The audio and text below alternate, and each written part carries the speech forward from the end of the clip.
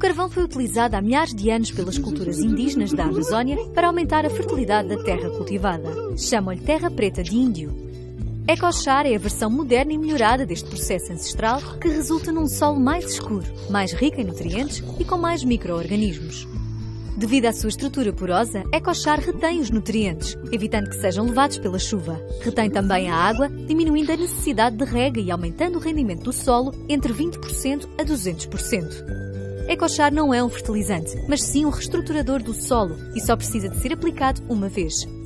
É uma mais-valia fundamental não só em grandes áreas agrícolas, mas também em pequenas hortas e até nas plantas lá de casa. Ecochar é produzido com tecnologia portuguesa e do século XXI, mas as vantagens não ficam por aqui.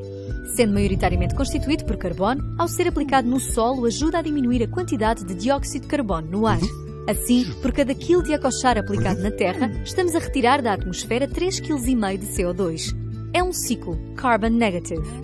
Através da utilização de acochar na agricultura, será possível sequestrar do ar quantidades significativas de CO2, o que constitui um avanço muito importante no combate à poluição e na diminuição do efeito estufa. Ecochar para uma terra mais saudável.